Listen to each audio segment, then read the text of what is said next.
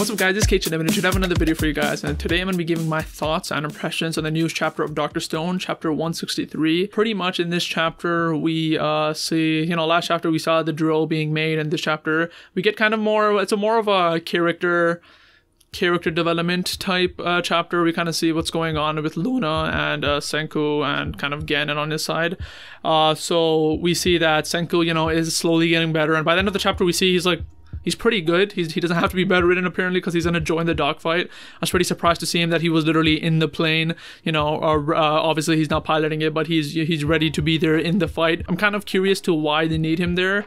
I'm assuming like there's some operations in the plane that only he can do but yeah it was kind of surprising to see that he is actually going to be in the dogfight with stanley in terms of like uh, what happened earlier in the chapter we see that uh, luna or dr luna was helping him get better and i was surprised that like in terms of him getting better, it was Senku that Senku was the one that was telling her what to do to make him feel better. Like I knew Senku's smart and stuff in terms of science, but I never knew he was kind of smart on the medical side too. He was kind of explaining like you know his lung is bleeding, try to suck the blood out. If it's not coming out. That means there's a cut there. Try to figure out what the cut is, etc. I thought kind of Luna was the one who's kind of fully overtaking the operation, but like I guess it's just Senku who has the know-how, and Luna's just helping, trying to actually do the execution of the task that he's you know recommending. So I kind of like that dynamic there.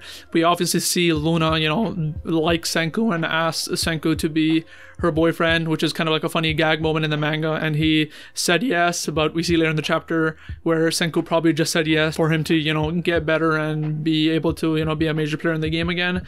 And so yeah, that, that I, I like that entire moment where kind of she's at the bar, you know, being kind of depressed, and then asking everyone, you know, what they think about him, asking her out, and they mention like, you know, Senku's been married and divorced right away, and he did that just for his goal at the time. So this is probably the same situation. So that's kind of hilarious, and I wonder if that kind of changes anything for her, whether she's like, oh, that sucks, or like she just continues on and she's okay with that. So yeah, I'm just kind of curious to see where that goes. Another thing that was pretty interesting to see was uh, the way Carlos just fully flipped on the situation, where uh, Taiju asked him to draw a map of Zeno's castle, and he fully denied it.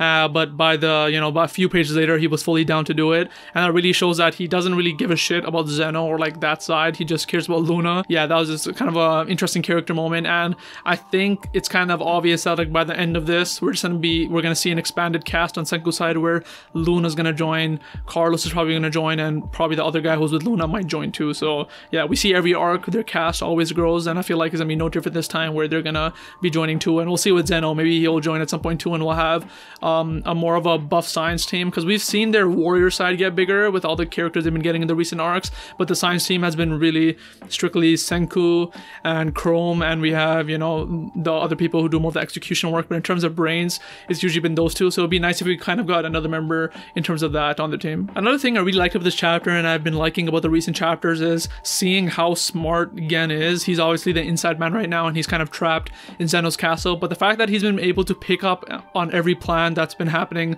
you know, on Senku's side and have no issue with it, I really liked him uh, realizing this chapter what kind of code cipher they were using for the code, him realizing last chapter what their plan has been. It really goes to show that Gen isn't just like a dumbass. He's, you know, he's a mentalist, he's really smart, and him being able to figure out every situation and dealing with it while being, you know, in the enemy's stronghold has been like a really nice touch, and I really like seeing that side of his character and not just being a fully, you know, comedy relief type character. The last thing to mention is kind of what uh, Zeno is up to. We've seen this kind of this machine or this device that he's been kind of working on, and I honestly have no idea what it can be. All we've seen is kind of a silhouette of what it is. We've seen the silhouette of what it is and how big it is. It looks huge, and the silhouette is kind of like a long volcano spear looking thing, and yeah, like I have no idea what it could be. Best guess is like some kind of cell tower type thing, maybe. I'm not sure. I, I literally have no idea what it can be. It doesn't look like anything I'd know what it would be, but I'm not sure what he can make that would kind of aid in him in his situation. I'm not sure if it's just something that he's been working on the side and has nothing to do with Senku's team, or if it's something that he's going to use against Senku's team. So that's something I'm kind of interested to see. And I'm assuming we're going to get the reveal of it sometime, either next chapter or like in the next coming chapters. If you do know what it is, let me know down in the comments below. I know obviously it's not revealed, but if you have any idea, that makes sense and I'm too much of a dumbass to realize, uh, let me know down in the comments below. And yeah, that's pretty much it. Those are my thoughts on the chapter. Overall, I really like this chapter. Uh, one kind of standard I always like measuring a chapter by is story progression, and I think this did a really good job. We kind of got much farther into it. Into it, we saw Senku get a bit better, and we see that they're already on a plane to fight Stanley, which I thought was gonna take a lot longer to, you know, get up and flying. But it seems like they're good in that department, and they're gonna start the fight next chapter. So yeah, I really like this chapter. Let me know what you thought about the chapter down the comments below. Hope you guys like and subscribe, and I'll see you next time.